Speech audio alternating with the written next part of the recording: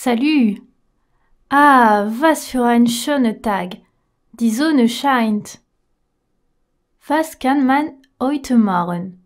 Julie, Lucie und Simon sind drei Freunde und wollen etwas unternehmen, aber sie haben nicht die gleichen Hobbys.